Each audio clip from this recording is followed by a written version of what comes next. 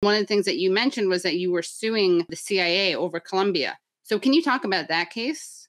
The Institute for Policy Studies is is named on the lawsuit that I've been managing and working with a couple lawyers since 2006. But really, this case goes back to the 1990s. So it's it's around the fact that the U.S. government provided direct support and assistance, we believe, through the CIA, U.S. Army intelligence, and the DEA to a death squad that people may have heard of if they've watched the show Narcos, although I am not endorsing it because they get so many things wrong. Los Pepes, which was the group called People Persecuted by Pablo Escobar. So, Pablo Escobar, obviously, everyone knows he's probably the most famous drug lord ever. He was elevated to international um, status when he blew up a plane, helped blow up a plane going between Ecuador and Colombia and the US citizens on it. So that the US government decided they wanted to get him, not just arrest him. He had already been arrested and was able to operate even from within jail in Colombia, but they wanted to take him out. So Los Pepes were a group of off duty police and also other uh, drug traffickers from a rival cartel, the Cali cartel. And the US government was giving them assistance. Now, this was not a sanctioned group enforcing the law. These were killers who were not just going after Escobar, but they would murder in gruesome manner the people who worked with him, his lawyers, the teenage son of his lawyer, the people that worked cleaning the stables at, you know, his haciendas. So not not drug criminals and not killers, but anyone having to do with it. And it was expressly prohibited in US law to give assistance to criminals, especially death squads and, and what they would now call terrorists. So in 1993, after Pablo Escobar was killed, I was an intern at Amnesty International. We began submitting FOIA requests, Freedom of Information Act requests, to the CIA and other agencies asking what did they know about Los Pepes and there were any relationship between the US government. Because remember, apart from Israel, Colombia was the number one recipient of US military aid for decades, the largest in the hemisphere. Plan Colombia was just starting at that point we were sending, the US government was sending hundreds of millions of dollars every year to the Colombian police and the Colombian military. And the hands of the US government were dripping with blood in this conflict that was happening in Colombia. So we began submitting the FOIA requests. The CIA responded with what's called the GLOMAR defense. We can neither confirm or deny the existence or the non existence of Los Pepes, which is obviously bullshit, right? Of course they know. And so, but if you want to force them to actually answer, you have to sue. So we began suing them. And for, for other reasons that we don't have time to get into, that they actually stalled that lawsuit. And I picked it up again with Institute for Policy Studies in 2006. I refiled all the FOIAs and we submitted that to it, and we filed in a federal court in Washington, and we won. The judge said the Glomar defense is not adequate. You must actually turn over documents related to Escobar and the death of Escobar and Los Pepes. So, thus began the process of the CIA and then all these other agencies that had they they had documents they had to refer back to them DEA, FBI, Defense Intelligence Agency, all these documents they had to turn over to us. And so they turned over a portion and then years went by. I mean, it was 2006. Think about how long we've been fighting this. They turned over a little bit at a time, then they take forever. The judge gives them a little bit of leeway, and then they used every excuse in the book to delay. Then finally we got we got hundreds of documents. And if you go to pepes.exposed, you'll actually see the first group of documents. The later ones are not up there yet. But then what happened was the law, they actually took so long to turn over these documents that FOIA law actually changed. And so I would get a, do- a, a document that would be um, a defense intelligence report for the Western Hemisphere. And there would be one sentence that I could read, and everything else was redacted. And then the, a lot of portions they would redact and say non responsive. And this is what's key to the change in the law. It would say, we are supposed to accept on faith that the CIA is saying nothing else in this document pertains to what you're asking us about. Here's the one sentence that does, and everything else you can't see. Well, they're no longer allowed to do that. They actually have to give you either specific national security exemptions or other legal reasons to redact things, and non responsive is no longer sufficient. So they had to go back and re release thousands of pages.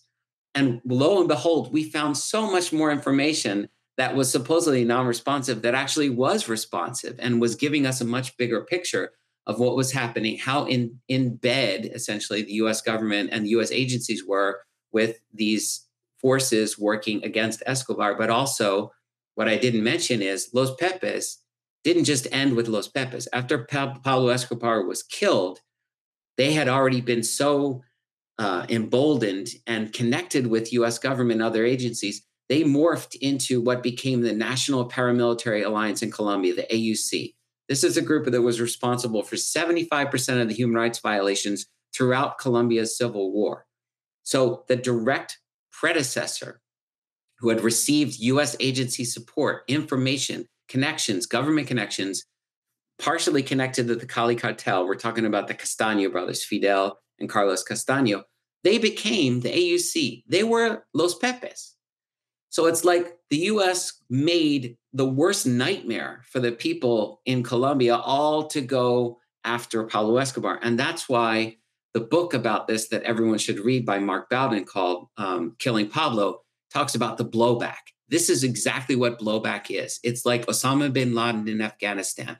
One day, your friend who will use unscrupulous, illegal, and terrible methods to achieve whatever result, the next day they become your enemy because you've propped them up to be that way. And Colombia is a perfect example of how US foreign policy, when it does not respect human rights, will backfire and cause harm against the very people that it's allegedly trying to help.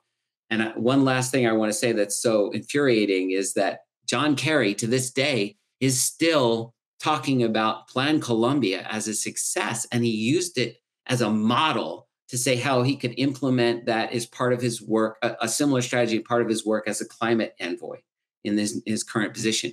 And everybody working on human rights in Colombia just lost their mind when he did that. Like, no, we all know how terrible Plan Colombia was and the legacy of harm and destruction that goes on to this day and yet he's quoting it. And you said, you know, this is what happens when the United States' foreign policy isn't guided by human rights, but it never is. You know, there is a law that says that the US government cannot give military aid to company or to um, countries that are engaged in massive human rights violations.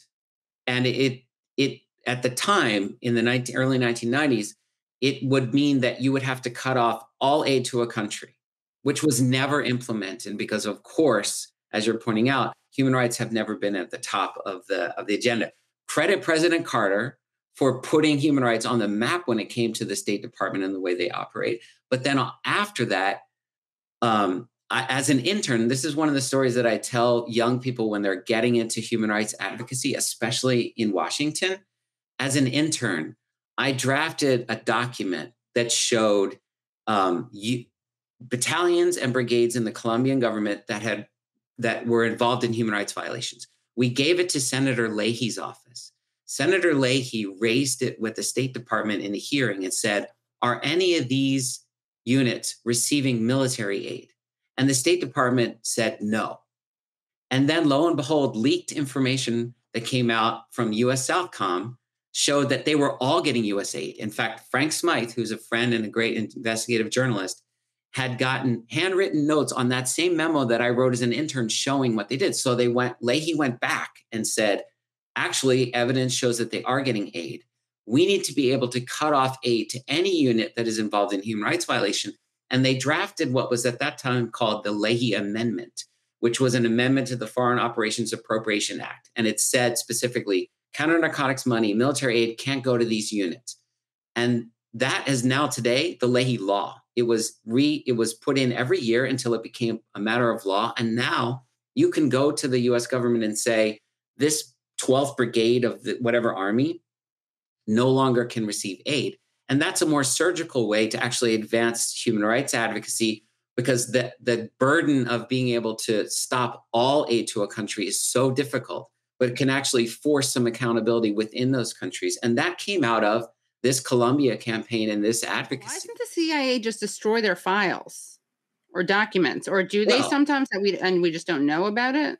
Well, yeah, let's, you know, I've gotten a bunch of documents. I don't know what I don't have. Right. But what's interesting is that Mark Bowden, the, the author I told you about who wrote that book, Killing Pablo, Mark Bowden got a former DEA agent to, well, we believe that's who it was, leak hundreds of documents to him that show these messages, these cables going back and forth between the US Embassy and the State Department that showed information that those documents have not shown up yet. So I don't know where they are. I'm still Right. waiting for them. What happens is when you submit a FOIA relic like this, the CIA will say, We have 400 documents, but we have 600 documents that actually originated with the DEA. So before we can give them to you, we have to refer that to the DEA, and then they go through and they redact it and they send it to us. So I've gotten documents from all these different agencies, but they're the ones that the CIA happen to have in its possession. And of course, they protect everything and they give you what's called a Vaughn index of all the documents that they're withholding in their entirety. And they say, to protect our sources and methods, we, we can't release any of this information to you. Now, we're talking about something that happened over 25 years ago. Most of the people involved either aren't working with the CIA, aren't working with the Colombian government, or have been killed.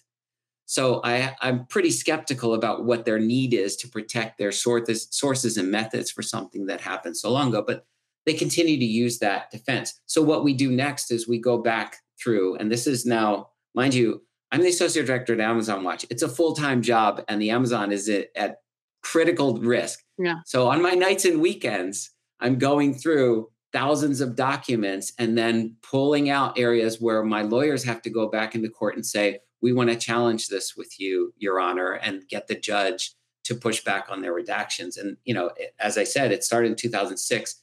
I'm hoping I finish it before I retire, if I ever get to retire, Yeah. because it's it's an epic battle. But it's so important because once we reveal what's going on, it will affect how people move into the future and what these agencies can do Right. and FOIA law in general. Like as I mentioned, the law itself has changed.